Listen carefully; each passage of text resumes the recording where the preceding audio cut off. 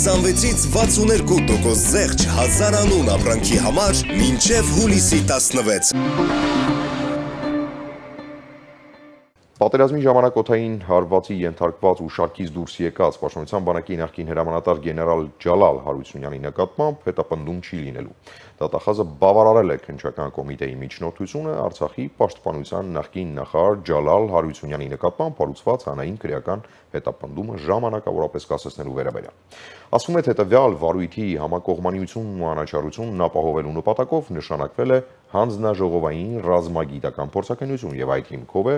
վարույթն իրականացնող մարմինը միջնորդություն ներկայացրել հսկող դատախազին։ Հիշեցնեմ, որ Ջալալ Հարությունյանին մեղադրում էին ամփութության մեջ 44-օրյա պատերազմի օրերին նախքան ծանր վիրավորումը Արցախի պաշտպանության բանակը ղեկավարած գեներալ լեյտենանտը ծառայողական պարտականությունների նկատմամբ ամփույթ վերաբերմունք դրսևորելու համար էր իդեպ ուրեմն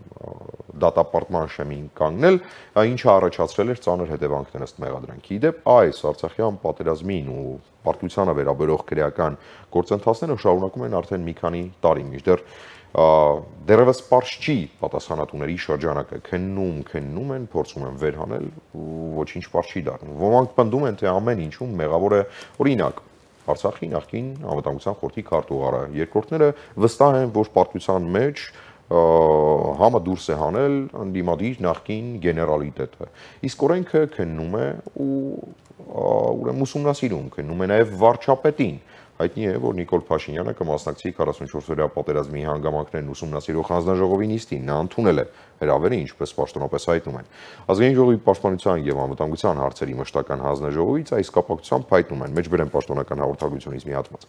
2020 թվականի սեպտեմբերի 27-ին սանձազերծված ռազմական գործողությունների հանգամանքների ուսումնասիրման նպատակով քննիչ հանձնաժողովը հրավիրել է Հայաստանի վարչապետ Նիկոլ Փաշինյանին հունիսի 20-ին ժամը 10:00-ին մասնակցելու քննիչ հանձնաժողովի աշխատանքների։ Նշեցի, հրավերն ընդունվել է։ Ինչևէ, վստահաբար այս հանձնաժողովի աշխատանքների արդյունքները եւս մնալու են լայն հասարակության համար անհասանելի։ Իշխանությունն իր համար քննությունները իրականացնում պատերազմների հանգամանքները բարձելու համար, ապա մի հերրու պահարանում տեղադրում դրա արդյունքները, ուսումնասիրությունները, իսկ մենք մնում ենք ենթադրությունների դաշտում, միշտ անտեղյակ, միշտ արդարության սպասումով եւ միշտ ձերքերը թափ տալով, թե ի վերջո ով էր մեղավոր Քարորիայում, 44-օրյայում կամ Աստված մի առասցե հետագա պատերազմներում։ Իսկ ինչ են սպասում ու ակնկալում մեզնից Ռուսաստանի Դաշնության քաղաքացիները, որոնք տեղափոխվել են Հայաստան։ Արդյոք վերջիններս ունեն նույնպիսի խնդիրներ, ինչպիսի խնդիրներ օրինակ ունեն Ռուսաստանի Դաշնությունում բնակվող մեր բազմաթիվ հայրենակիցներ եւ վերջապես